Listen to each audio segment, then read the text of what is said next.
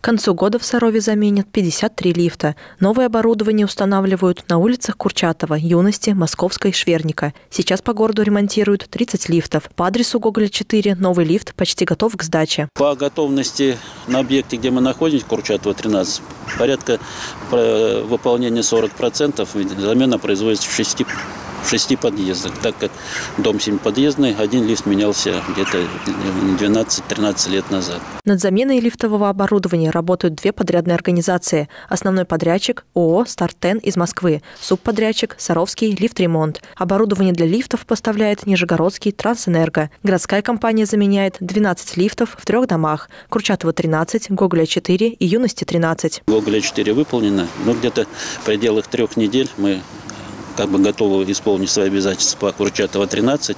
Ну, естественно, будем переходить на юности 13 где-то через две недели. В основном мой лифт э, достойного исполнения, речевой информатор, зеркала, эстетически выглядит довольно-таки прилично. Срок завершения капремонта лифтов по городу – 15 декабря. После этого всем новым лифтам предстоит пройти техническое свидетельствование. В Сарове замена оборудования производится по программе капитального ремонта.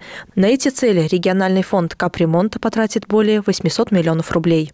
Светлана Ярунова, Евгений Шикарев, Сергей Рябов. Служба новостей Саров, 24.